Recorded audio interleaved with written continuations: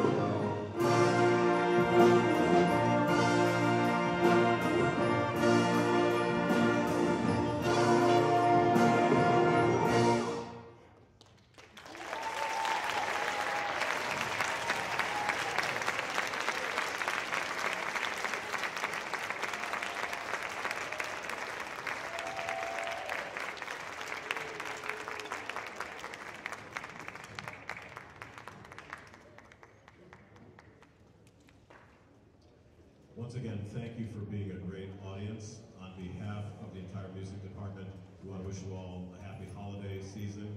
We hope you enjoyed this morning's concert.